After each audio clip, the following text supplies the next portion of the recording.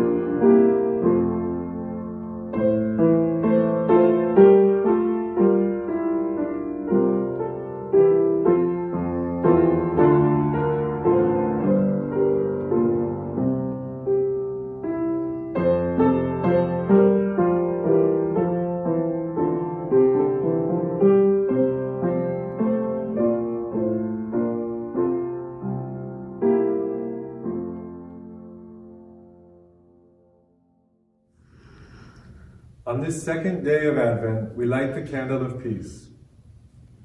Jesus Christ is a Prince of Peace, and peace is one of the fruits of his Spirit. Christ comes to bring justice, wholeness, and harmony to every relationship throughout all creation. He stands for peace with justice in every situation. Jesus, we pray that you will guide our feet into the path of peace.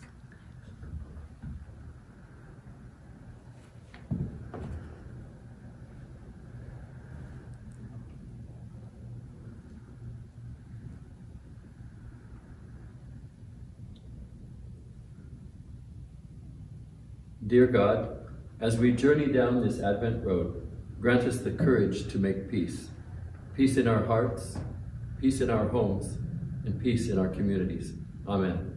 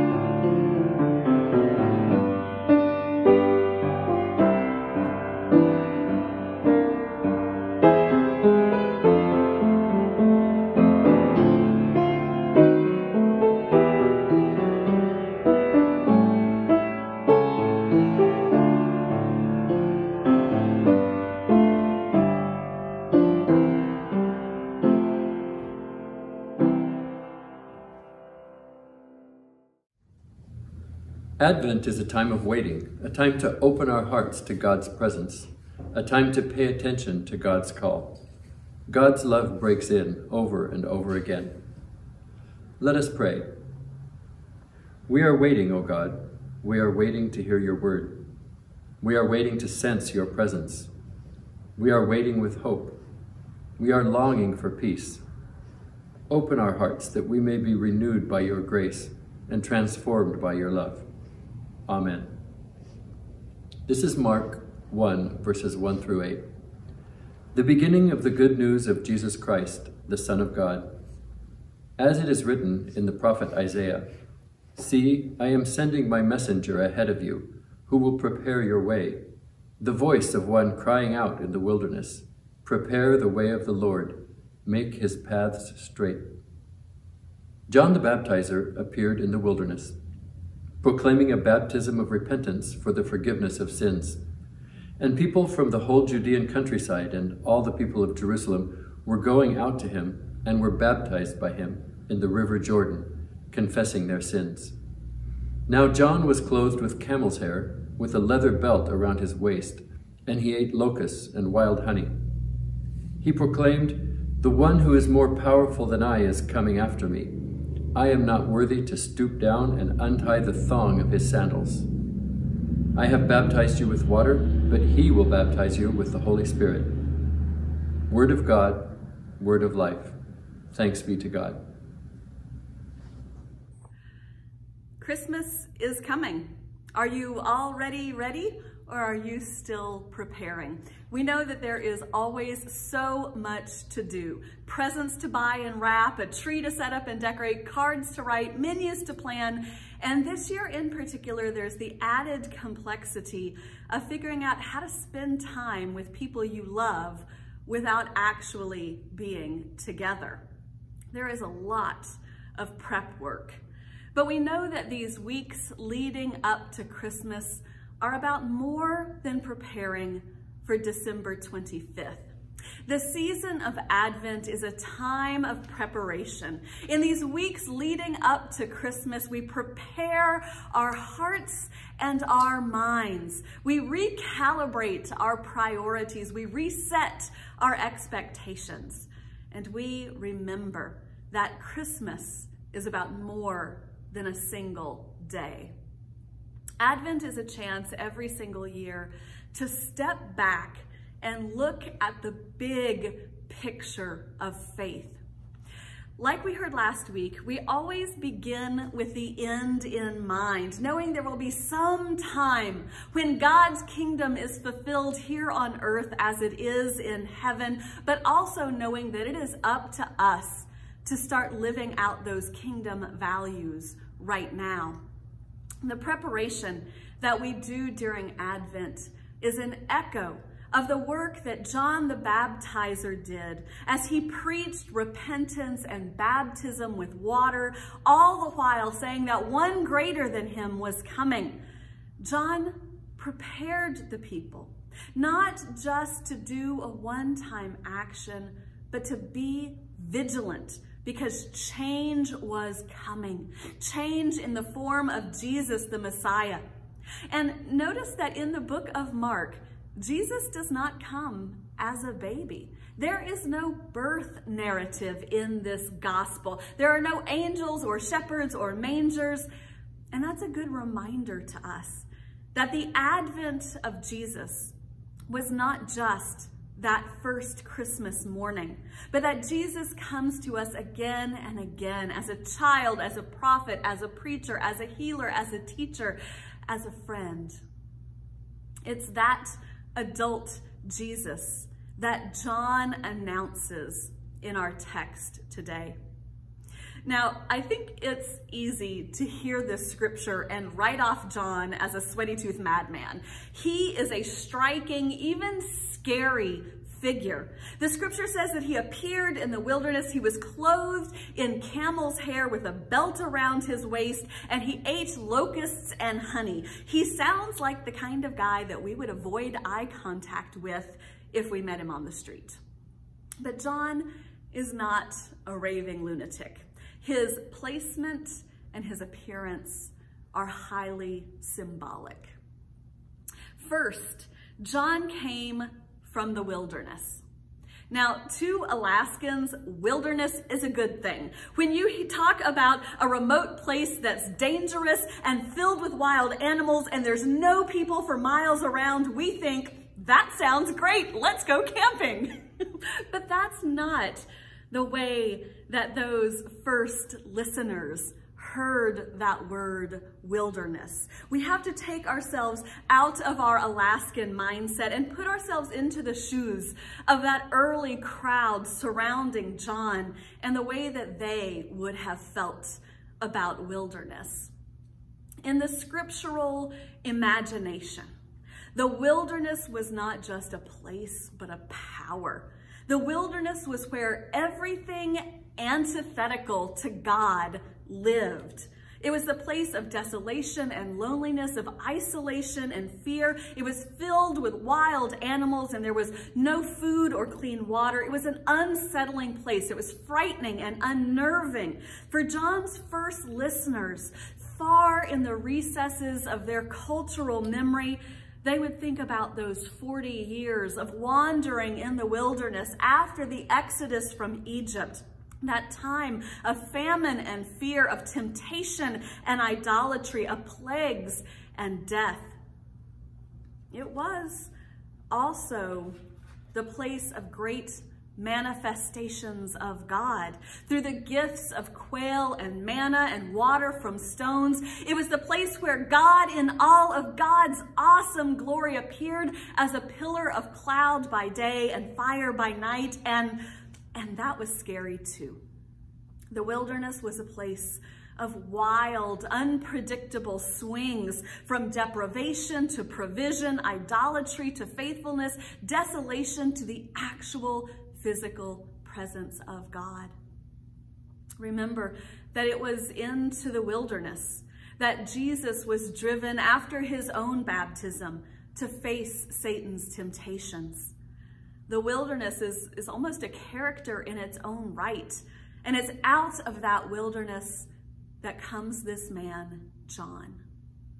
John's unusual clothing mark him as a prophet, somebody who lived outside the, the bounds of normal society, somebody who practiced outside the, the structure of organized religion. And the honey and locusts that he ate were signs that he lived on God's providence alone. I hear an echo of Elijah in this description of John. And you might call to mind the story of God sending ravens to feed Elijah in his own wilderness. John is that kind of prophet who lives on the outskirts of society, who is fed by God alone.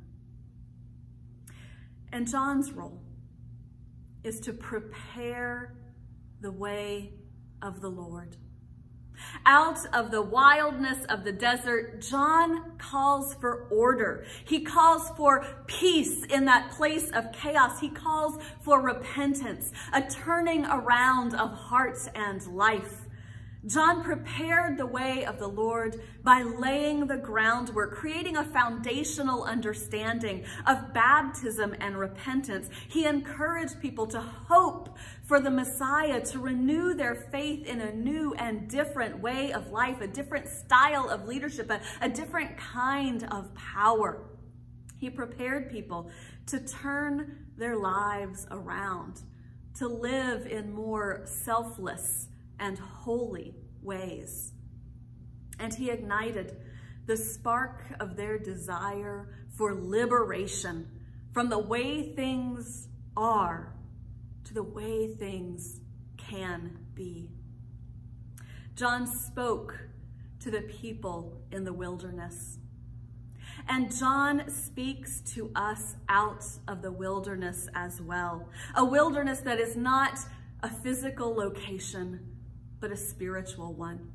T.S. Eliot said, the desert is not remote in some southern tropic. The desert is in the heart.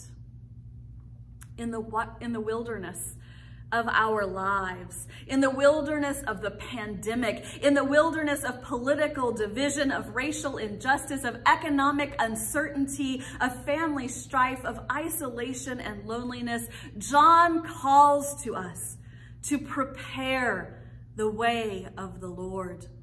And so we prepare. We prepare ourselves to receive Christ however and whenever he manifests in our lives. We practice our spiritual disciplines of prayer and scripture study, of worship and acts of mercy. We examine our hearts and our habits. We seek forgiveness and reconciliation.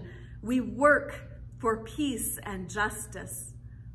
We repent and do better.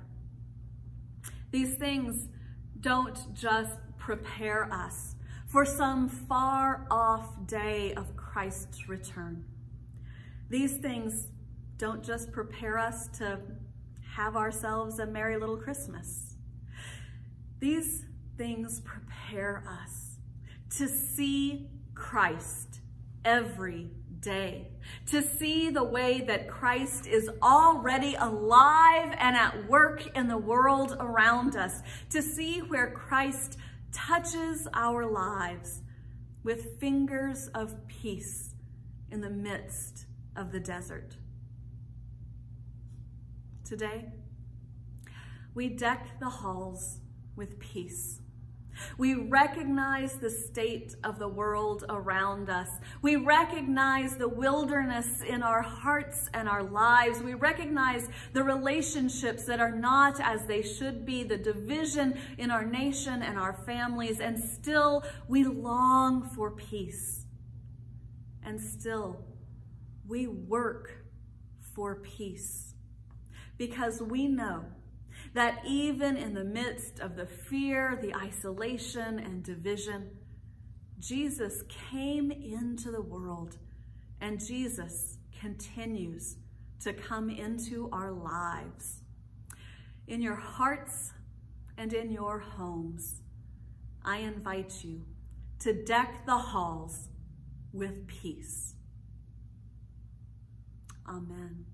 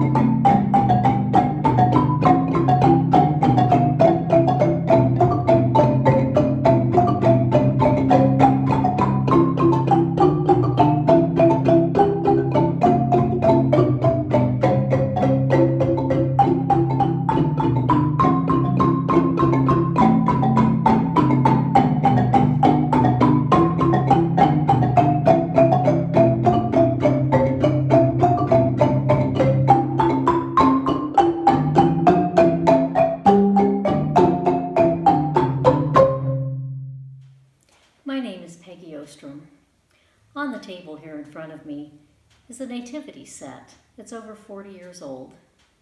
Each piece handcrafted by a woman named Wilma at the First Presbyterian Church in Newton, Kansas. We lived in Newton when our children were born, and we attended the First Presbyterian Church there. The tradition for that church was that each Christmas, each child in the church would receive one piece of a nativity set, so that over the years they would accumulate an entire set. This set is meaningful to me because we moved when our kids were two and five, and Wilma made the remaining pieces for each child so that they would each have their own nativity set. Anyone who knows me knows my life is not peaceful. In fact, it's more often chaotic than not. But this set reminds me of a time when, in the midst of Christmas, there was peace. Because each of our children had their own nativity set, there was no fighting over who got to put baby Jesus in the manger on Christmas Day. There were no arguments over who got to move which character toward the stable throughout Advent to Epiphany. This Advent, I will deck the halls with peace.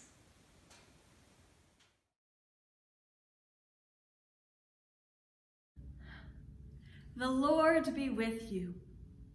Lift up your hearts. Let us give thanks to the Lord our God. Let us pray. God of our salvation, we do not deserve your love, yet you lavish it upon us. Not being content to be apart from us, you came to us in human form, donning flesh and becoming one of us. You are not a God that is removed from our reality, but is intimately present in our lives and our struggles. We lift up to you our thanks for your presence among us.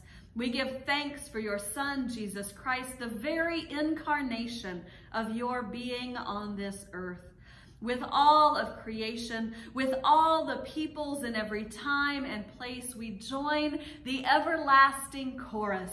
Holy, holy, holy Lord, God of power and might. Heaven and earth are full of your glory. Hosanna in the highest. Blessed is he who comes in the name of the Lord. Hosanna in the highest. We remember how you called your servant John to prepare the way, how you called your servant Mary to bear your son, how you called your servant Joseph to accompany her, how you called the wise men to search and the shepherds to ponder, how you called John to proclaim and Jesus to preach, how you called Peter and the disciples to follow and serve. On the night in which Jesus was betrayed, when after having dinner with his friends, he took bread. He blessed it and he broke it, saying, This is my body given for you. Do this in remembrance of me. And likewise, when the supper was over, he took the cup, blessed it, and gave it to his disciples, saying, This is the cup of salvation, my love given for you for the forgiveness of sins. Do this in remembrance of me. For as long as we eat this bread and drink this cup, we proclaim the resurrection of our living Savior until he comes again. As we wait during this blessed rest called Advent, we proclaim the mystery of faith. Christ has died. Christ is risen.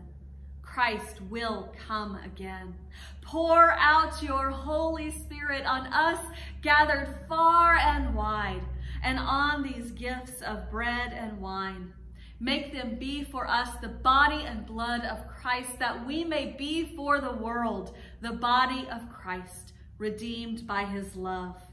By your Spirit, make us one with Christ, one with each other, and one in ministry to all the world until Christ comes in final victory and we feast at his heavenly banquet.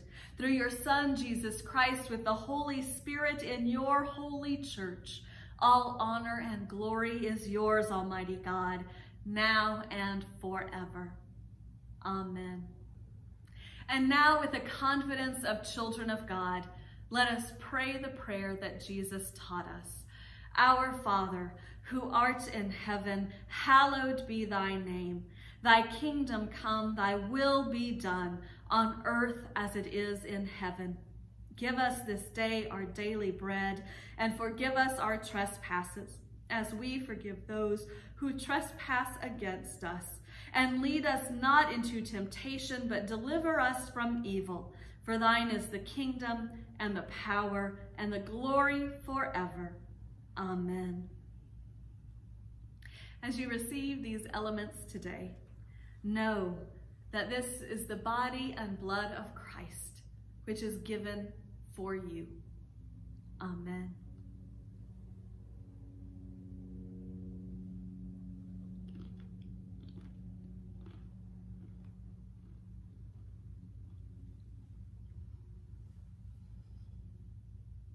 Thank you so much for your continued generosity during this time. You can see in our church newsletter that there are a couple of opportunities to give to help people in need right here in our own community. One is to put together a Christmas blessing box. In years past, we've called this our reverse advent calendar.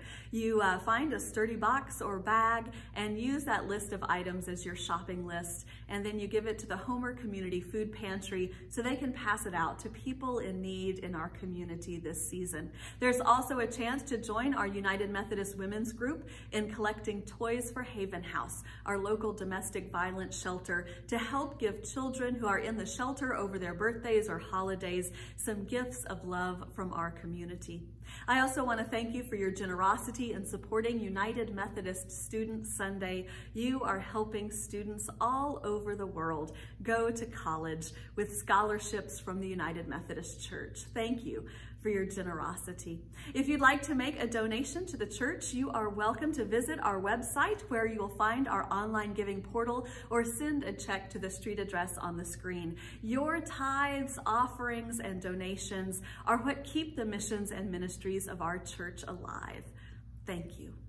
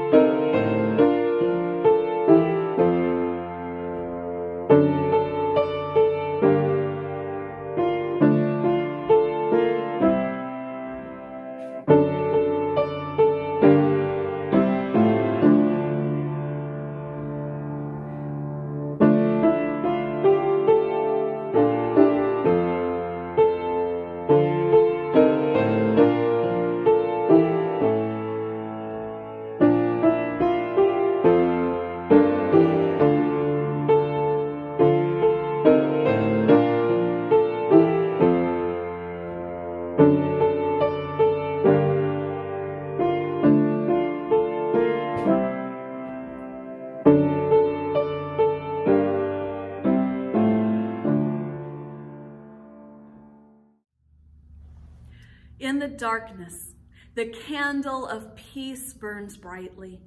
In the quiet, the voice of the prophet rings out, prepare. In the wilderness of the soul, Christ is present. Amen.